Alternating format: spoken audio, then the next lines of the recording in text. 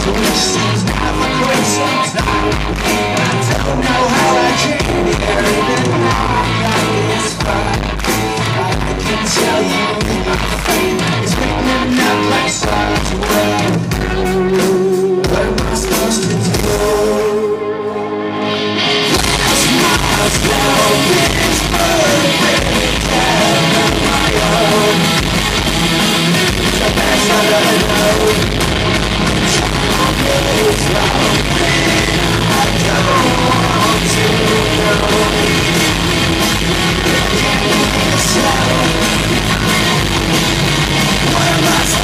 Gracias.